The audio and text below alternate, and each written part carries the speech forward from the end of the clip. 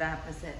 Uh, this is a collage, which includes not only uh, decorative papers, but predominantly my own prints, portions of my own prints, some of which worked, some of which did not.